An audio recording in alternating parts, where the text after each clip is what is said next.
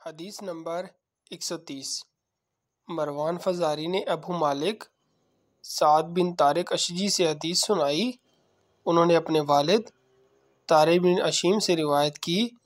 उन्होंने कहा कि मैंने रसूलुल्लाह सल्लल्लाहु अलैहि वसल्लम को ये फरमाते हुए सुना, जिसने ला इलाहा इल्लल्लाह कहा और अल्लाह के सिवा जिनकी बंदगी की जाती है, उन सब का इनकार किया तो उसका माल और जान